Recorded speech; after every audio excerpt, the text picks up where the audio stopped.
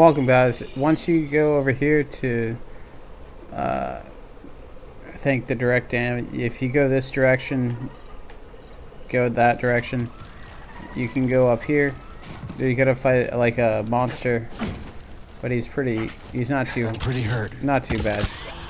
Nice throw, BD. And you can grab uh, Let's go, BD. this power crystal right here.